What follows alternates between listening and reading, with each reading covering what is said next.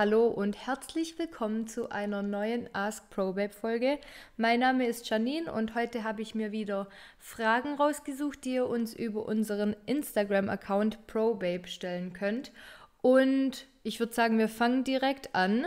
Die erste Frage war Tipps zum besseren Einschlafen. Und ich glaube, mittlerweile sollten wir alle wissen, wie wichtig guter und erholsamer Schlaf ist. Und deshalb dachte ich, ich teile heute einfach mal so meine Tipps, die mir persönlich helfen beim Einschlafen. Und Tipp Nummer eins, mit dem ich selber sehr schwer zu kämpfen habe, ist kein Koffein mehr vor dem Schlafengehen. Ähm, also selbst sechs Stunden nach dem Trinken eines koffeinhaltigen Getränkes, egal ob Kaffee oder Cola oder irgendein Energy Drink, ähm, ist die Hälfte davon noch in unserem Körper aktiv und kann somit halt eben den Schlafrhythmus stören. Deswegen lieber auf ähm, koffeinhaltige Getränke abends verzichten. Dann ein weiterer Tipp ist spazieren gehen, beziehungsweise einfach an die frische Luft und vor allem an die Sonne raus, weil unser Gehirn benutzt das Sonnenlicht als Hinweise auf unsere innere Uhr. Und die innere Uhr, die ähm, tut unseren Zyklus des Wachseins und des Schlafens gehen äh, steuern und das Melatonin, also was die ähm, Schläfrigkeit beeinflusst, dieses Hormon, das wird tagsüber unterdrückt und abends bzw. nachts ausgeschüttet. Und deswegen empfehlen wir immer, es reichen schon 30 Minuten spazieren gehen an der Sonne, ähm, damit man ein bisschen Tageslicht abkriegt. Somit weiß dann das Gehirn wieder, wann es wach sein soll und wann es praktisch wieder runterkommen soll. Und da wären wir auch beim nächsten Thema Blaufilter am Abend. Heißt keine Handys, keine Bildschirme, kein Netflix and Chill abends, ähm, weil alle Bildschirme so ein Blaulicht drin haben und das vermittelt unserem Gehirn genau gleich wie das Sonnenlicht, dass es praktisch wach sein soll. Und das stört den Schlafrhythmus auch extrem. Und äh, es gibt spezielle Night Shifts am Handy, also so ein Abendmodus, welches das blaue Licht kompensiert und deshalb solltet ihr das abends unbedingt immer einstellen, ähm, falls ihr sowas am Handy oder am Laptop oder wie auch immer habt. Ähm, es gibt auch noch die Möglichkeit, eine Blaufilterbrille zu tragen. Ähm, da kann man es auch ein bisschen kompensieren. Ansonsten einfach mal abends so eine Stunde vorm zu Bett gehen, einfach mal das Handy weglegen, den Bildschirm auslassen, den Fernseher auslassen, äh, vielleicht noch eine Runde spazieren gehen oder einfach mit dem, mit dem Partner mal sich hinsetzen und reden oder noch ein Buch lesen und da kommt ihr auf jeden Fall besser in den Schlaf, ähm, wie wenn ihr euch noch abends im Bett liegen mit Instagram-Scrollen beschäftigt. Auch wenn es schwerfällt. ähm, ja, dann ein weiterer Tipp, wenn ihr schon im Bett liegt, ist auf jeden Fall noch lüften. Ähm, einfach, dass frische Luft reinkommt und vor allem, dass es nicht zu warm in eurem Zimmer ist, weil eine zu hohe ähm, Raumtemperatur beeinflusst auch den Schlaf extrem. Deswegen einfach mal so 10 Minuten noch durchlüften oder sogar mit gekipptem Fenster schlafen, kann auch helfen.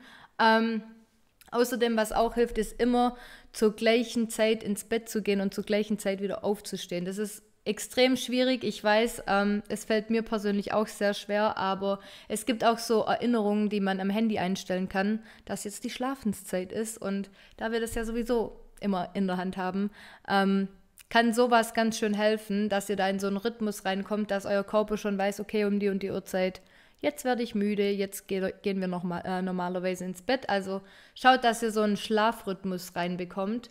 Ähm, dann natürlich, was auf jeden Fall immer helfen kann, ist, sich selbst zu verausgaben beim Sport. Ähm, Klar ist es cool, wenn ihr äh, spazieren geht und so weiter, aber wir kennen das auch noch so von kleinen Kindern, wenn die den ganzen Tag rumrennen und sich da extrem verausgaben, sind die danach einfach todmüde. Und so ist es halt auch, wenn ihr zum Beispiel Krafttraining macht ähm, und euch da so richtig verausgabt, dann ist euer Körper einfach so müde, dass es euch auch auf jeden Fall beim äh, Einschlafen helfen kann. Ja, das wären mal meine Tipps zum Einschlafen. Ich hoffe, ihr konntet daraus irgendwas mitnehmen. Ähm, so, was hatten wir denn noch für eine Frage? Wie weiß ich, wann mein Körper einen Restday braucht? Ja, auch ein ganz wichtiges Thema, wie der Schlaf. Ähm, weil eine mangelnde Re Regeneration kann dich daran hindern, voranzukommen oder ihr könnt sogar deswegen Rückschritte machen. Deswegen empfehlen wir immer, also kommt natürlich darauf an, wie viel, wie euer Trainingspensum ist, also wie häufig ihr überhaupt ins Training geht in der Woche. Aber wenn ihr schon regelmäßig so vier, fünf, sechs Mal die Woche geht, dann auf jeden Fall Minimum ein Restday, eher empfehlenswert zwei Restdays zu machen. Ähm, weil natürlich während dem Training sollte das Ziel darin bestehen, dich, pro, äh, dich progressiv zu steigern. Heißt natürlich immer mehr machen als die, beim letzten Training, euch da zu steigern. Und das verursacht natürlich Mikroschäden an eurer Muskulatur, äh, an, eurem, an euren Muskeln, Fasern, Mensch. Auf jeden Fall, um diese halt wieder zu reparieren, braucht euer Körper unbedingt genügend Zeit und Erholung und deswegen müsst ihr euch den, dem Körper das dann auch geben. Ähm, wenn ihr also auch einen starken Muskelkater habt, das kann auch ein Anzeichen dafür sein, dass ihr einfach ähm, einen Restday braucht und eine Pause machen müsst, weil Muskelkater bedeutet nicht, dass euer Training jetzt besonders gut war, sondern wie gesagt, es sind immer Risse an euren Muskelfasern und die müssen, muss euer Körper erst wieder regenerieren. Oder wenn ihr merkt, dass ihr extrem müde seid die ganze Zeit und ihr euch ausgelaugt fühlt oder ihr allgemein keine Fortschritte immer im Training macht und ja, das sind so Hinweise, die euer Körper euch sendet, dass ihr vielleicht eine Pause machen solltet und dann gönnt euch auch wirklich diese Pause. Ähm, denn wie gesagt, da viel hilft da nicht viel. Wenn ihr da jeden Tag ins Training geht und euch so überausgabt, könnt ihr dann eher Rückschritte machen. Und dann nehmt euch mal einen Tag Pause, macht irgendwas Schönes. Ihr könnt ja trotzdem irgendwie eine Runde spazieren gehen oder trotzdem aktiv sein. Nur halt dieses extrem den Körper belasten solltet ihr dann einfach mal sein lassen. So, was haben wir denn noch? Kann man auch mit Homeworkouts abnehmen? Äh, prinzipiell ja. Ihr könnt, ihr nehmt, wichtig ist, dass ihr versteht, ihr könnt immer abnehmen, sobald ihr in einem Kaloriendefizit seid. Und da ist es e-, so erstmal egal, ob ihr das mit einem Homeworkout macht oder mit Krafttraining oder mit Fußball oder mit Tanzen oder welche Sport auch, auch immer.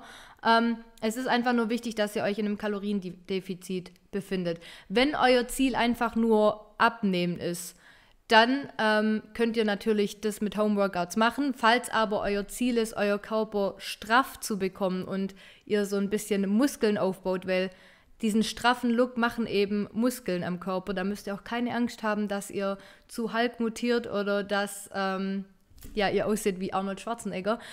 Ähm, das passiert natürlich nicht, da müsst ihr euch keine Sorgen machen.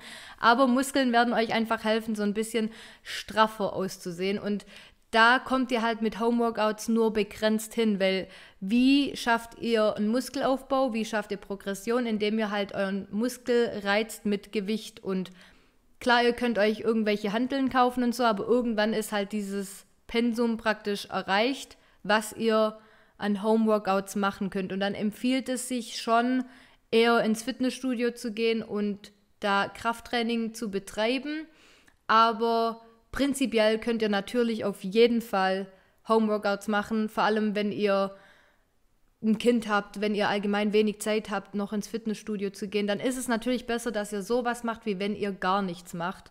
Ähm, aber wie gesagt, da ist halt die Möglichkeit, jetzt wirklich viel Muskel aufzubauen, eher gering, weil irgendwann gewöhnt sich euer Körper einfach an das gleiche Gewicht, das ihr immer benutzt und dann muss eine Steigerung kommen und entweder ihr kauft euch dann größere Handeln und ihr habt irgendwann mal so einen ganzen Freihandelbereich daheim, was natürlich super schön ist und äh, sehr praktisch sein kann. Aber ähm, ja, wie gesagt, da empfiehlt sich dann schon irgendwann mal ins Fitnessstudio zu gehen oder halt einfach die Gewichte zu erhöhen. Ja, ich würde mal sagen, ich glaube, das war es jetzt erstmal. Ich wünsche euch auf jeden Fall einen wunderschönen Resttag, wann immer ihr das hört, oder einen schönen Abend, guten Morgen, was auch immer. Und ich hoffe, ich konnte ein paar Fragen von euch beantworten. Falls ihr natürlich auch Fragen habt zum Thema Training, Ernährung, ähm, Sport, wie auch immer, dann könnt ihr uns jederzeit Fragen stellen über unseren Instagram-Account und dann werden wir die natürlich für euch beantworten. Wir würden uns natürlich auch freuen über eine positive Bewertung und ja, das war's von mir. Danke fürs Zuhören und bis zum nächsten Mal.